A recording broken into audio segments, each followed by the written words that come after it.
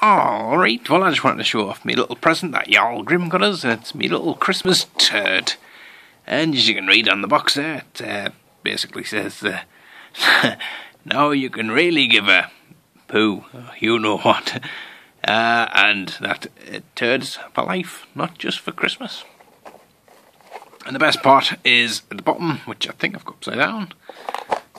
Blooming typical. Right, here we. Use that barcode for my barcode battle.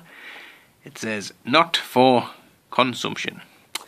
So that's a shame, uh, but here it is. It's me actual Christmas turd. Now, when Jarl Grim told us he got, he'd got his Christmas decoration, uh, I kind of immediately thought, like, mm, it's going to be Mr. Hanky um, from South Park, but actually, this is so much better. I mean, look at that. Look at the characteristics. I like the hat.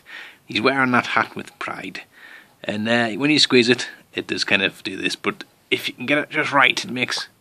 Oh, that was a wet one. Oh, dear. Oh, not good. it's coming brown you through. Touching cloth, no doubt. So, yes, so if me being Polly Poo, I do quite appreciate getting a, a poo present. So, thanks a lot. That's brilliant. And uh, if you do it quick, it sounds like a cat being sick. So thanks, y'all.